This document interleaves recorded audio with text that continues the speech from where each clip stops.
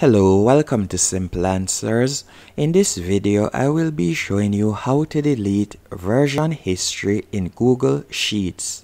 The first thing you want to do once on Google Sheets, as you can see right here, you are going to tap on the three dashes in the top left hand corner. And from here, you are going to select Drive. After selecting Drive, you will be redirected to drivegoogle.com as you can see right here. Then you're going to simply select the version that you would like to delete, the older version. You'll simply tap on it. Then you're going to right click and from there you will see the option remove.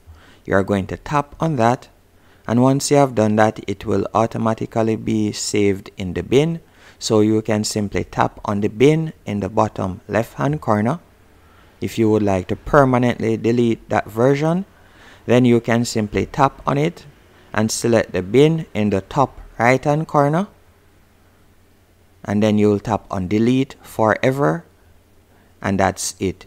Hope you found this video helpful and informative. If you did, be sure to hit the like button and subscribe and thank you for watching.